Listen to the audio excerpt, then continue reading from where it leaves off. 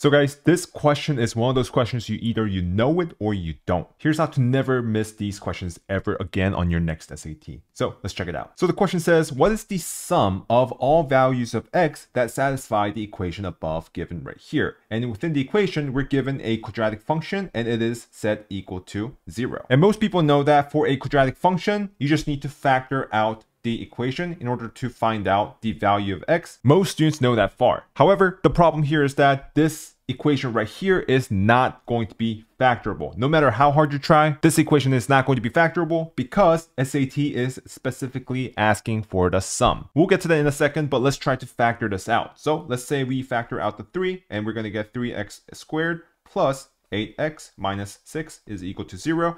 And when we try to factor out this portion, no matter what you do, this is not going to be factorable. Again, why? Because the SAT is specifically asking you to find the sum.